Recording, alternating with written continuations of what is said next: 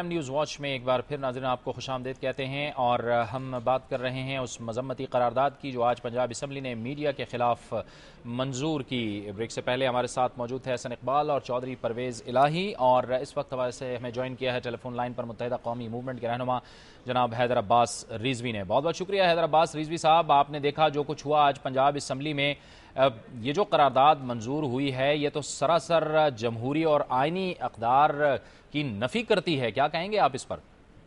मैं तो सिर्फ़ इतना कहूँगा जावेद कि एक बड़ा खूबसूरत शेर है।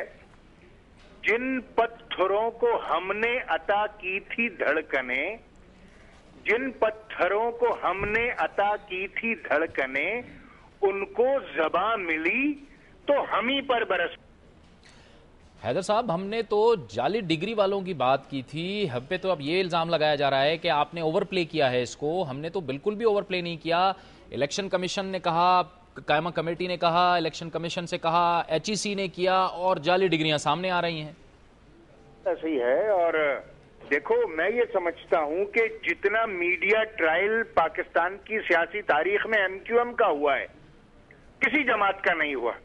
मगर शायद अगर आधा भी दीगर के साथ हो जाए तो वो तो न जाने मीडिया का क्या असर कर डालें।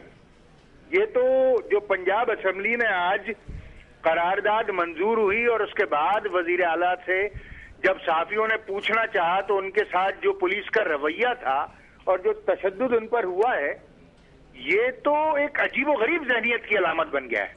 इसका मतलब है कि जब सियासी जमातों के हक में बात की जाएगी तो वो, यानी उनके मफाद की बात होगी, वो उसे कबूल करेंगे और जब हकाइक सामने आएँगे तो फिर हमारे खिलाफ मजम्मती करारदादें मंजूर होंगी। अल्ताफ भाई का एक बड़ा मशहूर जुमला है। मीठा मीठा, हप हप, और कड़वा कड़वा, थू थू। आप जब मेरे हक में बात करेंगे तो मैं बड़ा खुश रहूँगा। और अगर मेरी ही किसी वजह से मेरे खिलाफ कोई बात हो जाएगी और वो रिपोर्ट हो जाएगी तो फिर आपसे बुरा कोई नहीं है।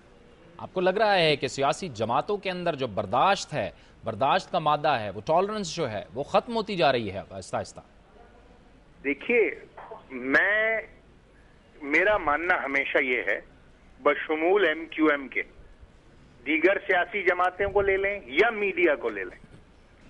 अच्छे बुरे लोग हर जगह हैं। और ना एमक्यूएम फरिश्तों की जमात है, ना दीगर कोई सियासी जमात फरिश्तों की जमात है, ना मीडिया में फरिश्ते मबूस हैं। इंसान हैं, गलती भी करते हैं, और गलती करने का हरगिज मतलब ये नहीं है कि पूरे इंस्टीट्यूशन को मतून करार दिया जाए। हो सकता है कि एमक्यूएम में चंद बुरे लोग हों, हो सकता है दीगर जमातों में कुछ बुरे लोग हों हो सकता है साफियों में कुछ बुरे लोग हों। हैदर भाई लेकिन आप इस बात से इतफाक करेंगे कि इस करारदाद की जो मुहर्रिकात हैं उसकी इंतहाई कमज़ोर अखलाकी बुनियादें हैं। अरे भाई के ऐसी सूरत हाल में जब खुली तनकीद होगी और इतना वाइब्रेंट मीडिया होगा तो फिर इस तरह की सूरत हाल सामने आना जो है वो अफसोसनाक तो है मगर अचंबे की बात नहीं है। क्योंकि बहरहाल आमिर तो हर जगह हो सकता है। कितना ज़रूरी है सियासी जमातों के लिए इसलाह अहवाल करना बजाय इसके कि अपने आप को ठीक किया जाए मीडिया पर तनकीद की जा रही है?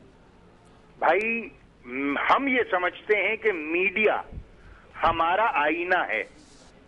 अगर हमारे चेहरे पर कुछ लग गया है तो आईना तोड़ने से वो साफ़ होगा नहीं। उसके लिए हमें खुद मुँह धोना पड़ेगा। बहुत बहुत शुक्रिया हैदर अब्बास रिजवी मुतहदा कौमी मूवमेंट के रहनुमा।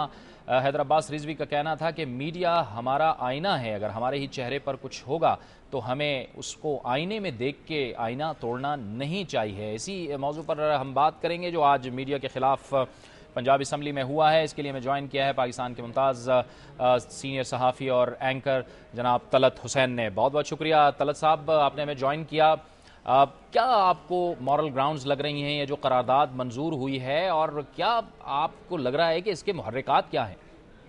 ज़ाहरन जावेद, जो करारदाद का मतलब इस वक्त मेरे सामने है, इसके अंदर जो अल्फाज का चुनाव है और जो आर्गूमेंट दिया गया है, वो ये नहीं है कि जारी डिग्रियों के ऊपर मीडिया का स्टैंस क्या है या मीडिया की जो तनकीद है, उससे अरकान कितने नाराज़ हैं। जो ज़ाहरन जो वजह बनाई गई है, वो ये कि इस तमाम तनकीद के अंदर बाज मीडिया के अरकान जो है, वो हद से तजावज़ कर रहे हैं और इसमें तजहीक और तस्वील के पहलू जो हैं, वो शामिल कर दिए गए हैं। और बिना तस्दीक डिग्रियों के मामले के ऊपर उन लोगों को भी रखेदा जा रहा है जो इस तमाम तनाज़े से बाला हैं क्योंकि उनकी डिग्रियाँ असली हैं।